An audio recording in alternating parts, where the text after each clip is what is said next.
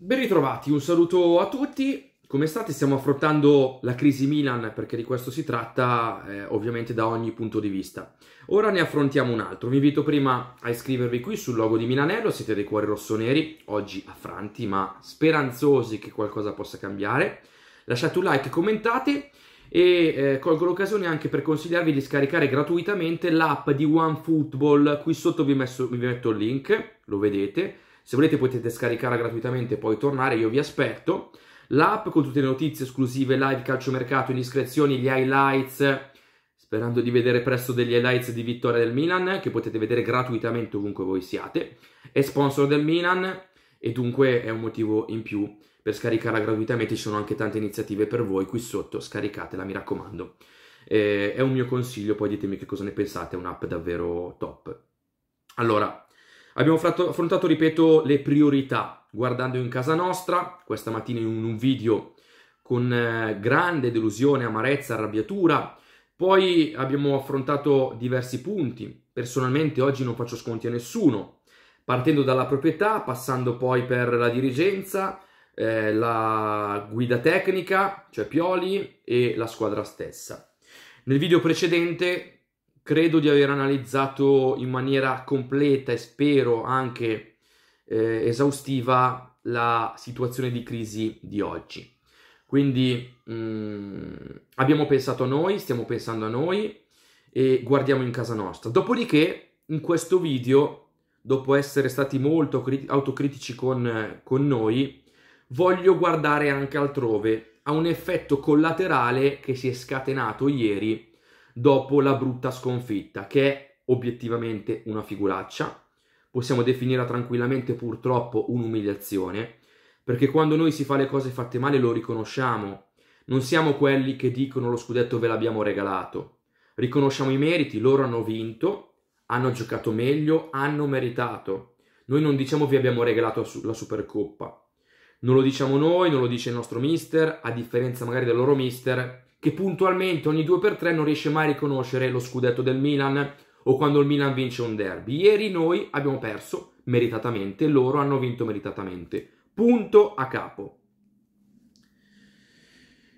Tra le mille motivazioni per cui quella partita doveva essere preparata diversamente, c'era innanzitutto che era una finale. La finale si prepara da sola, è un dogma, è una regola, è, è una legge del calcio. Secondo motivo affrontavamo la squadra nostra principale rivale, ragazzi se, se loro avessero avuto quella, quella antipatia sportiva, quella, quella, quell'agonismo che abbiamo tutti noi nei confronti loro, il risultato sarebbe stato diverso. Magari avremmo perso, ma sarebbe stato diverso. Io ripeto, a volte quando perdi male ti scappa la scarpata, il fallo, l'arrabbiatura. Ieri zero, hanno fatto più falli loro altro segnale per cui non c'eravamo con la testa. L'unico che ha fatto un fallo è stato Teo, ma perché aveva la lingua di fuori e non riusciva più a correre. Detto questo, terzo motivo per cui questa gara doveva essere una gara giocata con un agonismo al top, avevi di fronte Cialanoglu, il giocatore che ha deciso di fare una scelta, di andare via, di, di sputare nel piatto in cui aveva mangiato, di parlare male anche dei suoi ex compagni, con cui sappiamo si è creata insomma una frattura netta e evidente. Questo era un altro motivo per. Non è andata così, abbiamo perso. Nel post partita segnaliamo innanzitutto ad esempio Bastoni, prima di arrivare a Cialanoglu, che dice i loro festeggiamenti eh, li abbiamo visti, siamo, ce li siamo segnati tutti. ce li siamo segnati tutti. Come il professore che si segna tutto. Noi dobbiamo sentirci dire questa cosa. C'è la Noglu che dice preferisco sempre stare zitto. Il karma torna, ci vuole rispetto, questa sera 3-0 li abbiamo mandati a casa, ce li siamo mangiati. Fermi. Una cosa la voglio dire, alcuni passaggi del, dei festeggiamenti della nostra squadra sono stati sbagliati. Inneggiare a dei cori offensivi sul personale non è da Milan, non è da grande squadra, quindi in quel caso Ibra, chi ha fatto, detto, ha sbagliato. Lo dico con estrema onestà. Dopodiché apro un altro capitolo. Il signor Cialanoglu dice preferisco sempre stare zitto. Eh no! Eh no! Eh no! Non è vero! Non è vero che se preferisce sempre stare zitto. Una volta solo ha detto preferisco non parlarne. Recentemente, quando gli hanno chiesto dello scudetto del Milan, il signore ha detto preferisco non parlarne. Quando gli fa comodo preferisce non parlarne. Altrimenti, altrimenti, un secondo dopo essere andato dal Milan all'Inter, non perde occasione per pennellare di nero-azzurro san, eh, sul post social, che oggi sono strumenti di comunicazione, Milano, dicendo Milano è nerazzurra. Non perde occasione un secondo dopo per dire finalmente sono una squadra vincente, qui sì che si vince, non come eh, la mia precedente squadra, sono con compagni vincenti, parlando male dei suoi ex compagni. Parlavo un giorno sì, l'altro pure, sempre di Milan, sempre male di Milan. Sempre male di Milan. Arriva, chiaramente non gli, non gli facciamo un tappeto rosso, esulta così. Quello che preferisce sempre stare zitto certe frasi arrivavano dalla sua bocca. Il primo, poi sulla scelta, di fatto tu andando dal Milan all'Inter per 500.000 euro hai tradito il patto spogliatoio, hai tradito il tuo gruppo, ma poi lo hai offeso con certe dichiarazioni, dando loro dei perdenti, dicendo adesso sono in un gruppo vincente. Quindi il primo ad aver sbagliato è stato lui. Più volte parlava, ripeto quell'esultanza, i discorsi social. Tant'è che ho sentito anche qualche interista che diceva forse sarebbe meglio che stesse zitto ogni tanto. Cosa succede? Che perde lo scudetto. Perde lo scudetto. E lì sta zitto. Il gruppo vincente era quello che lo aveva lasciato. Ci vuole rispetto vero, il rispetto deve essere dato, diciamo che anche lui avrebbe dovuto avere rispetto nei confronti dei tifosi del Milan, invece di fare così, quella è provocazione, non è rispetto, e rispetto nei confronti della sua ex squadra, che definiva una squadra perdente. Li abbiamo mandati a casa, ce li siamo mangiati. Ora, proprio perché ci vuole rispetto, e perché tu stai dicendo ai tuoi ex compagni non sapete vincere, tu in questo momento stai facendo lo stesso. Perché si può dire abbiamo dominato, la forma fa la differenza in certi casi. Li abbiamo mandati a casa, ce li siamo mangiati, li abbiamo mandati a casa subito, ce li siamo mangiati. È una forma, è una formula non rispettosa. Vuol dire che vuoi stravincere e stai mancando anche tu di rispetto nei confronti della squadra. Però fermi, fermi. Il karma, c'è il karma. Intanto una cosa, il karma, come certi amori, fa dei giri immensi e poi ritorna. Perché il karma arriva subito. Il karma ha voluto che l'ultimo derby di campionato tu lo hai perso e sei stato protagonista dando un assist in orizzontale, cosa che non si fa neanche all'oratorio, ripeto, massimo rispetto per l'oratorio, bellissima realtà, assist a Tonali che poi dà la palla a Leao e segna. Quello è il karma, ti è data ancora peggio. Ma poi un'altra cosa la voglio dire. Intanto sui compagni, secondo me, un'altra cosa la voglio dire, e lo leggevo anche oggi, mi è piaciuta, la, la faccio mia.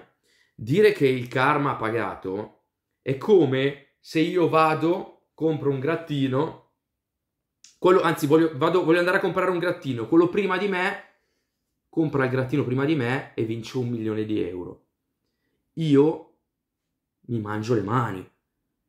Però dico il karma vince, paragonare la Supercoppa allo scudetto è come se poi io vado una settimana dopo, sei mesi dopo, a comprare il grattino prima dell'altro che aveva vinto un milione e questa volta io vinco 20 euro e dico, segno dell'ombrello, ben ti sta. Come fai a paragonare la Supercoppa con lo scudetto?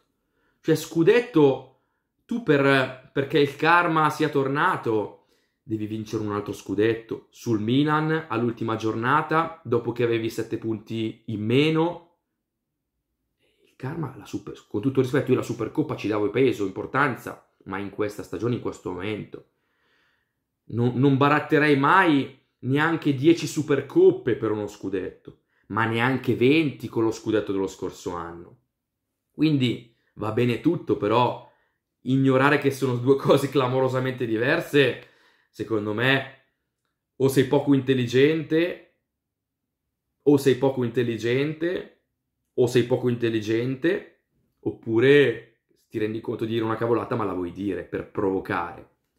Dico un'altra cosa, non finisce più, perché tu hai provocato, il Milan ha risposto nei festeggiamenti, tu oggi provochi ancora e con te anche i compagni che fanno i professorini, la prossima volta aspettati che accadrà ancora dell'altro. Non ti stupire se i tifosi del Milan ti fischiano poi. Non stupirti, non facciamo le verginelle. E io dico una cosa, spero, spero, sicuramente questa frase verrà appesa a Milanello.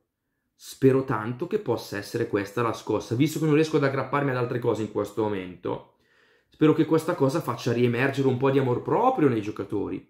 L'avete sentito, cari giocatori del Milan, che cosa ha detto? che cosa ha fatto, che cosa hanno detto, che cosa hanno sottolineato, come vi hanno preso in giro, come vi ha preso in giro il vostro ex compagno. Ecco, il 5 febbraio c'è un derby. Vediamogli arrivare a quel derby con eh, una ritrovata compattezza, fiducia. Se non avete trovato l'unione dentro il gruppo fino a questo momento, fatelo almeno con questa frase chiaramente una frase di presa in giro, di provocazione,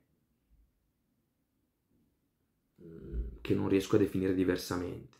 E io dico che è la prova provata che con lo scudetto gli sta facendo ancora male, ma molto male. Se riesce a paragonare una Supercoppa a uno scudetto, non ci siamo proprio. Detto questo, lo scudetto l'hai perso contro la tua ex squadra. Puoi vincere anche la Coppa Italia quest'anno, ma non riuscirai mai a pareggiare con lo scudetto. Finché non succederà la stessa cosa. Ragazzi, è così. Quindi svegliatevi e fatelo anche per certe provocazioni che arrivano dal signorino, eh? Che è stato il primo a provocare. Poi noi sbagliato a dire certe cose, a fare, è evidente, ma adesso lui prosegue. E quindi il karma magari torna il 5 febbraio, solo se lo vogliamo noi, solo se capiamo che dobbiamo essere squadra di nuovo. Quindi svegliatevi e tu, nel tuo mondo, prova a capire, ecco, secondo me la metafora del grattino funziona parecchio, come se paragoni un milione a 20 euro che hai vinto. Ma che karma? Qual è il karma?